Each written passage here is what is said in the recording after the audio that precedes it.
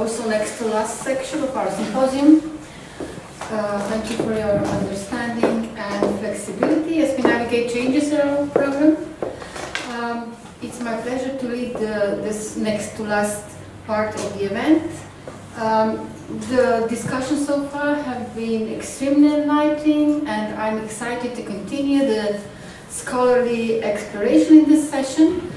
Uh, so to maintain the flow of our discussions, we will proceed with the next scheduled presentation, followed by a screening of the theatrical performance of the myth of Illyrianka and closing remarks to conclude the today's event.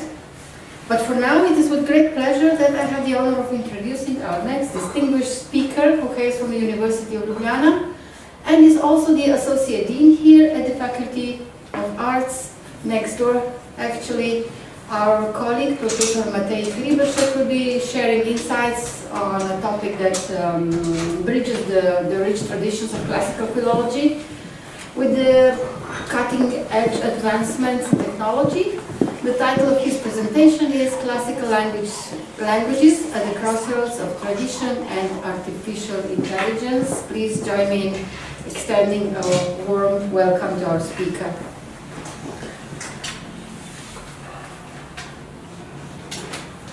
Thank you very much, uh, dear colleagues. A warm welcome also from my part. Allow me first uh, of all to express my sincere thanks to all the organizers of today's con conference, both, of, both for their efforts and for inviting me to speak at today's symposium. In my paper, I would like to outline what has happened in the field of classics over the last 50 years? What the development of computer science has contributed to the development of classics? And in the last part, my vision or expectation of what the development of artificial intelligence has brought us, at least in some areas, and what it might bring us in the future. This paper is primarily a reflection on these questions. Let me first explain why I have chosen this title.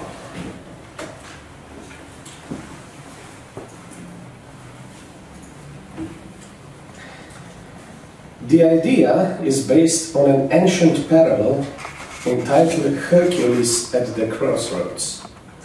The author of this now lost work was the sophist Prodicus of Chios, and the story was preserved and handed down to us by the historian Xenophon in his Memorabilia, Memoirs of Socrates.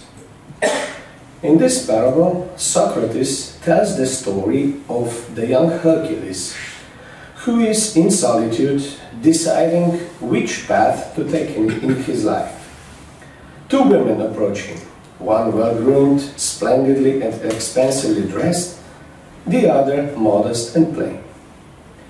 When he asks them their names, the first replies that her name is Happiness, although her opponents call her Vice, and the second that her name is Virtue.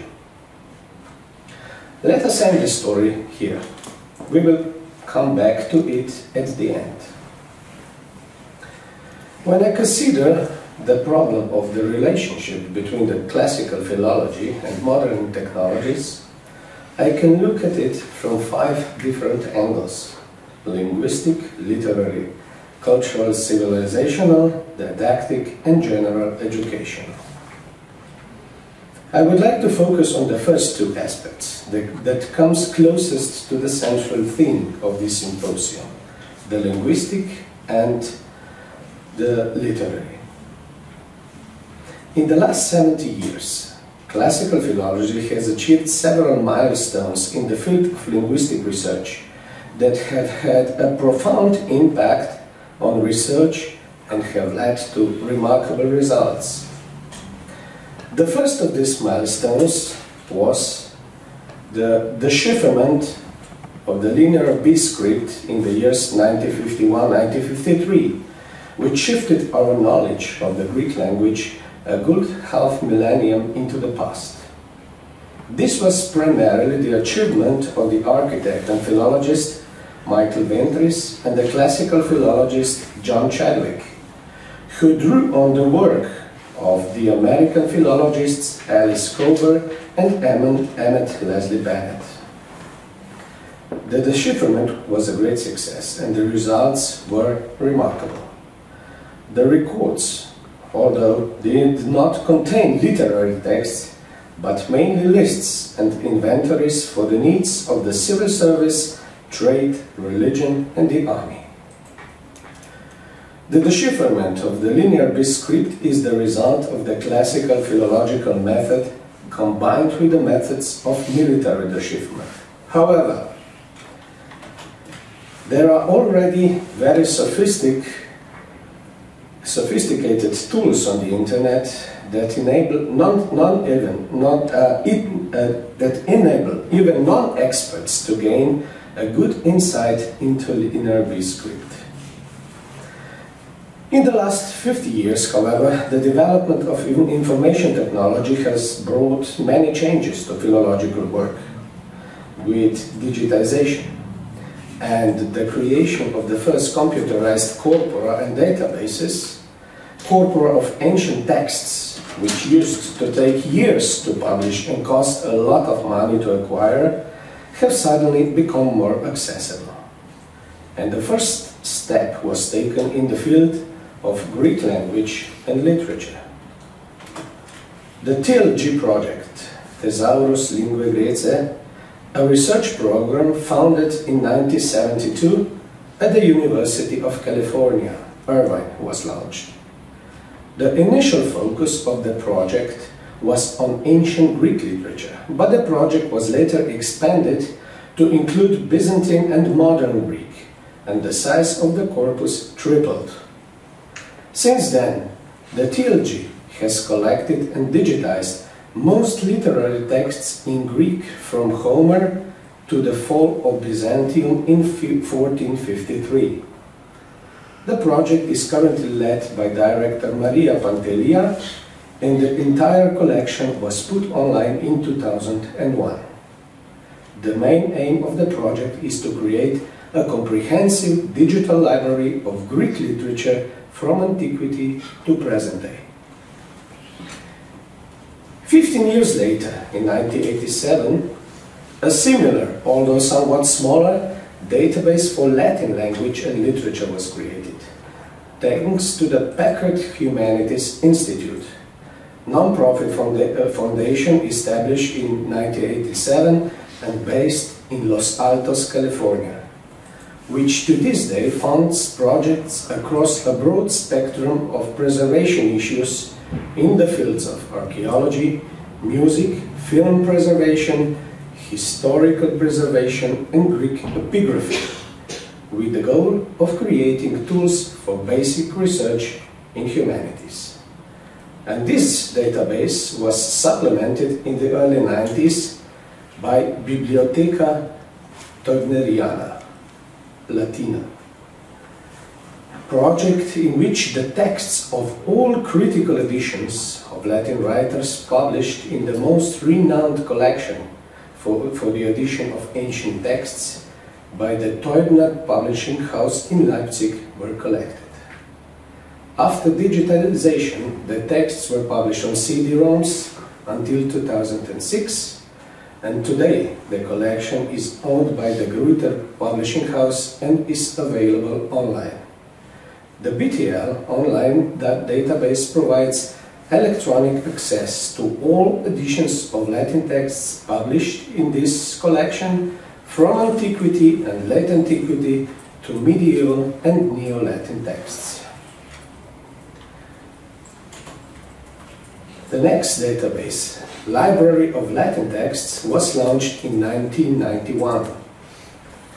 Today it is developed and produced in Turnhout by the Center Traditio Litterarum Occidentalium.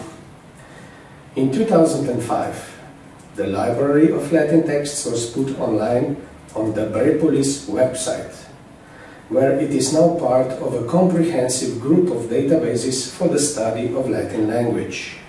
Brepolis Latin. This network consists of full-text databases and the database of Latin dictionaries. In the current version, scholars can consult 11,765 works, including more than 5,800 diplomatic charters. Similarly, Oxford Scholarly Editions Online is provided by Oxford University Press. The collection provides full text access to, the, to over 1700 editions spanning more than 2000 years of history, with authoritative editorial notes displayed alongside the text and advanced searching within and between editions. It offers primary material from a wide range of subject areas, from philosophy, literature and theology to economics, linguistics and medicine. The Loeb Classical Library collection was founded in 1911 by James Loeb with two goals. First, to make the work of classical authors available to as many readers as possible, and second, to offer the best of Anglo-American classical scholarship. Today, the collection is up-to-date and accessible online. It comprises more than 450 e-books representing the entire classical heritage. Among the dozens of projects, I would like to mention just one more. Musis de, Musisque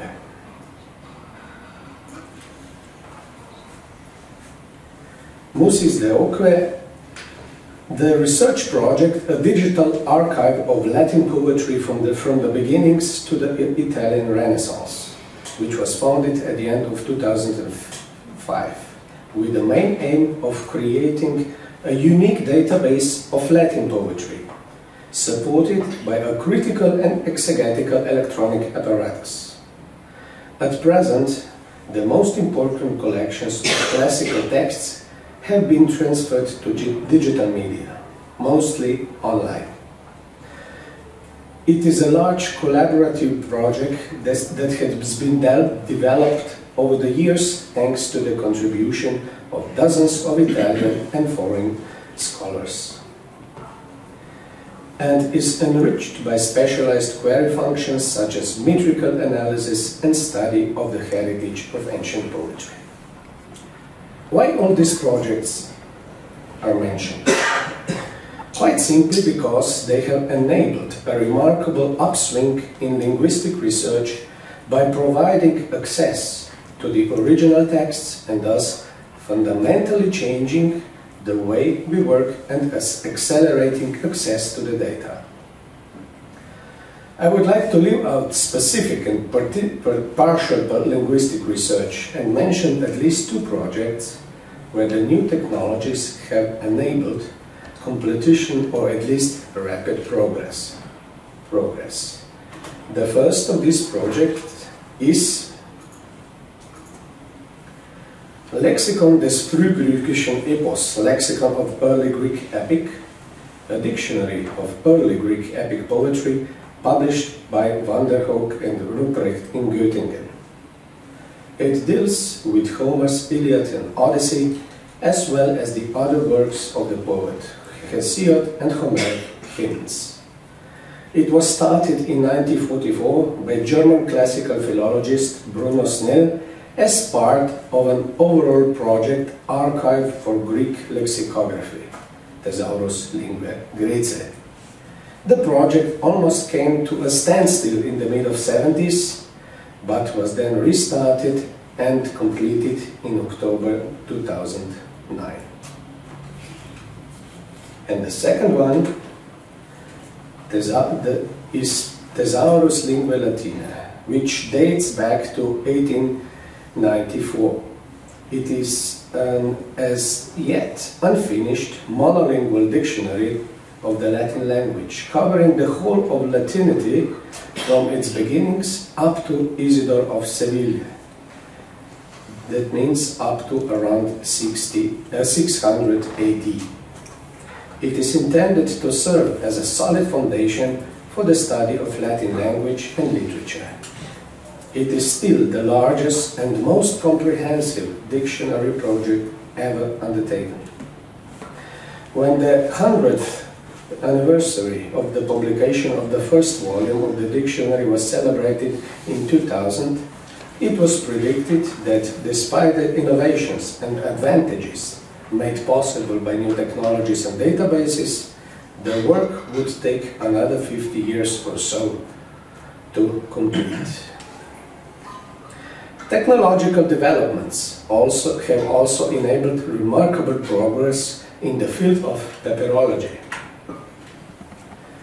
A good example of this is the study of the charred scrolls from the library of Villa dei Papiri in Herculaneum, where advanced technologies such as depth scanning, X-ray depth ma ma mapping, laser scanning and the like made possible possible by advances in computer science can be used to read the text fragments preserved on these scrolls and reconstruct at least part of them with the help of computer processing. The technology also allows us to analyze, compare, edit and process text more precisely. The same applies to the field of epigraphy.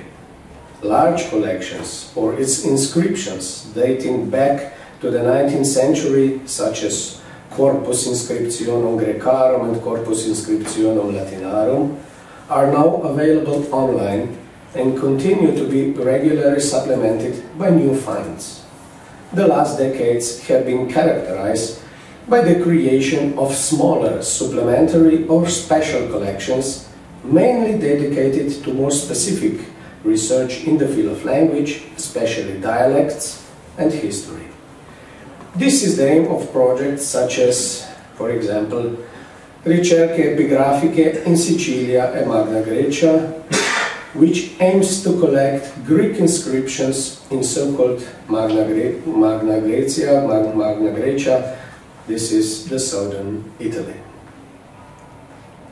With all that has been published in the field of classical philology and its, and its related disciplines, one might get the impression that the study of antiquity has already been exhausted as if everything had already been researched. However, this is not the case. With all the research and scholarly output, there is one major problem facing most fields in scholarship today.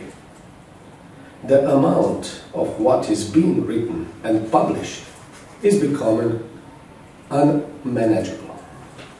It is very difficult, almost impossible, to keep up with the publications, projects, innovations and new technologies given the regular work and pace of life we otherwise face. The result is increasing specialization. The figure of the generalist, universal scholar, who can be described as polyhistor, is increasingly being lost and replaced by specialists in specific areas of or topics.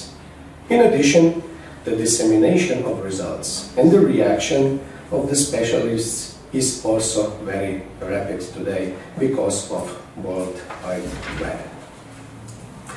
And what are the strengths and opportunities for the further research in classical philology? Let me introduce you this in 12 reasons. The first one, long tradition. The good thing about classical philology is that its two subjects, the two classical languages and the texts written in them, have a long tradition that ends neither for Greek nor for Latin with the end of antiquity, but continues in Christian literature, in Byzantine literature, in medieval literature, and modern literature. The second reason is the amount of surviving material. The amount of surviving Roman literature is quite manageable, and it is relatively rare to find anything new. However, if we add all Christian literature, medieval Latin literature, and Latin literature of humanism and modern times, the volume increases exponentially. In the field of language, we can observe the use of Latin over time and examine how it has changed, its various social genres, its influence on the formation of Romance languages and other European languages, its influence on the development of modern terminology, and much more. However, medieval and modern Latin literature as such still offers many research challenges that will continue to occupy generations of scholars in the future. The same and much more applies to the Greek language and Greek literature. The third reason is accessibility, increased accessibility. In my opinion, this is the most important element that the new technologies make possible today. Never in the history of work on both languages have resources and literature been so as easy accessible as they are today. And this will undoubtedly improve in the future. Fourth reason, new technologies and approaches. What the new technologies will bring are new approaches and possibilities for dealing with and editing text. It is very likely that certain tools will become so powerful that they will facilitate work, suggest solutions, or even write treatises and books. The philologist will have three tasks. He or she must, as the first, watch over the correctness of the work and processes. The second, be able to make critical judgments and evaluations. And number three, react appropriately in case of anomalies or misuse. The fifth reason are the new findings. Let me il illustrate this with an example. As far as Hellenism is concerned, many of us have the idea that this is the period from the death of Alexander the Great to the death of Queen Cleopatra in uh, in the year 30 BC. However, research shows that the influence of Hellenism in various areas extended centuries beyond this period and that it continued into the late Sassanid dynasty in terms of administrative structures, economic developments, money and other areas.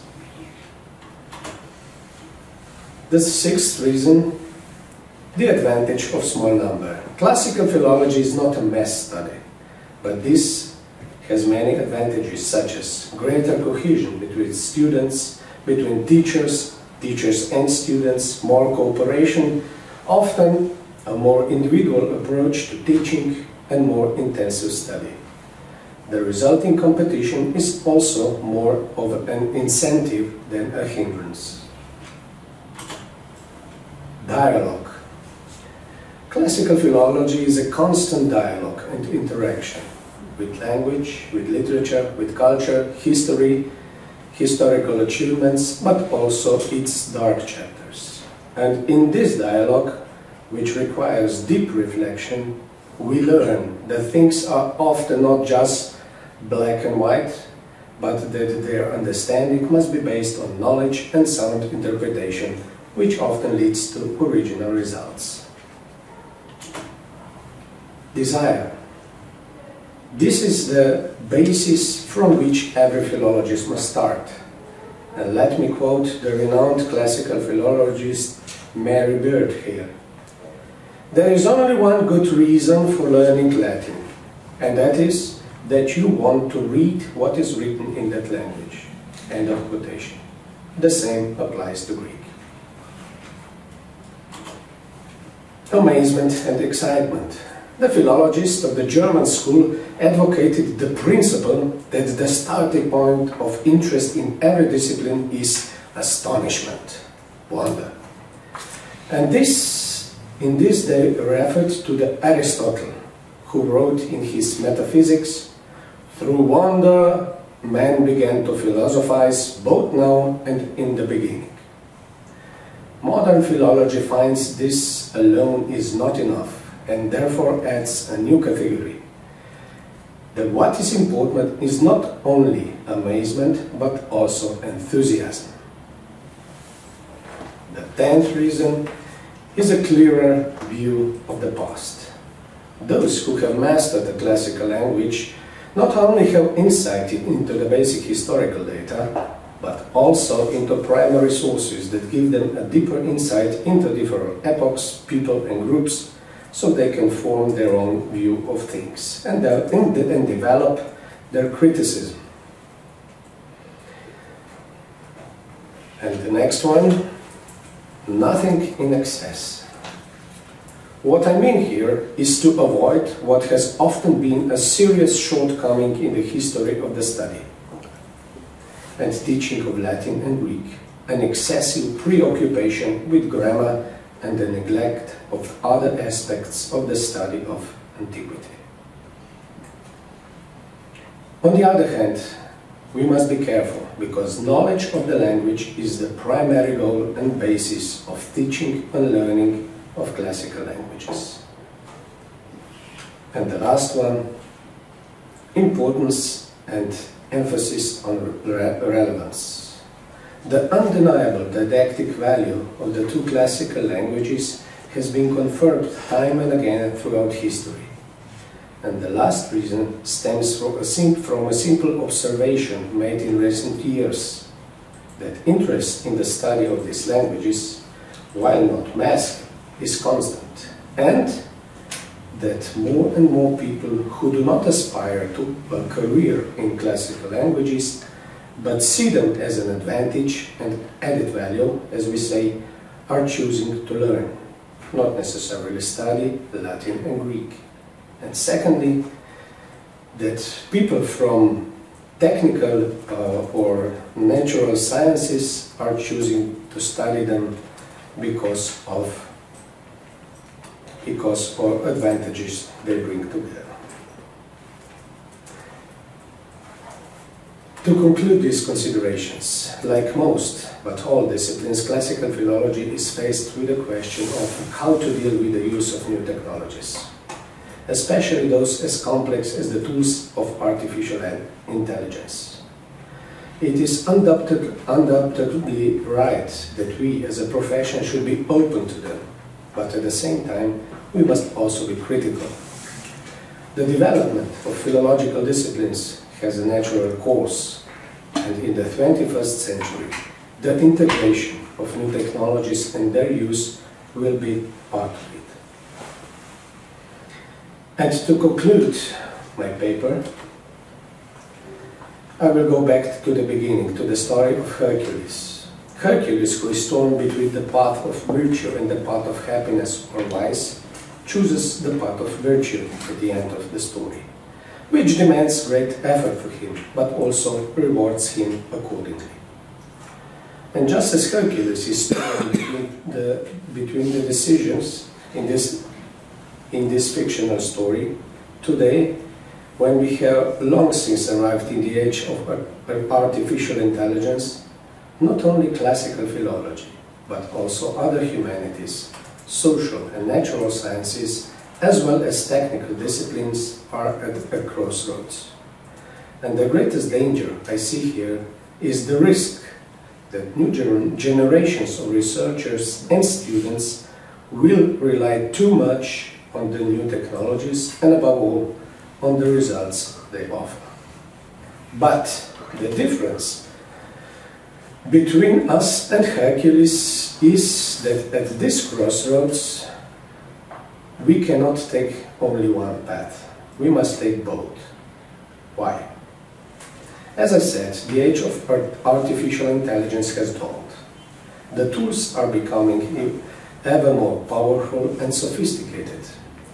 And it would be nonsense to ignore the many benefits that they their use can bring at all levels, levels of engagement with language. On the other hand, the classical approaches to language learning, study and research must be maintained, which are, are still based on acquired cognitive skills, on memorization, on proven research methods, and above all, on the principle of academic correctness, respect for authorship, and recognition of scholarly achievement by those responsible for them. These tried and test tested approaches, which are based on a centuries-long tradition of dealing with, uh, with ancient languages, their literature and cultures in the broadest sense of the word, are, in my opinion, a guarantee of quality and correctness and a safeguard against misuse and falsification of the facts. All the changes we are experiences, which entail many changes to previous work and approaches, must be observed and responded to immediately. Two things are necessary for an accurate understanding of ancient languages and texts. A complex and throughout mastery of language at all levels and in all shades, and, knowledge of the literature and cultural civilizational context in which these texts were created and in which these languages were used. Artificial intelligence and various software tools do not have such complexity, even if they are tools and technologies that learn and upgrade on their own. At the point we are currently at, the programs that currently exist can be very useful tools that can often make our work easier. I dare not make any predictions about the direction in which development, development will go and how powerful the new technologies will be. However, we must not overlook the most important aspect of the whole matter, the human factor, the people who are interested in this area and want to work in it. Our task here is to do everything in our power to ensure that both ourselves and those who will work in this field after us are equipped with basic knowledge and specific skills that will enable them to meet the challenges that new technologies and artificial intelligence will bring. Thank you very much.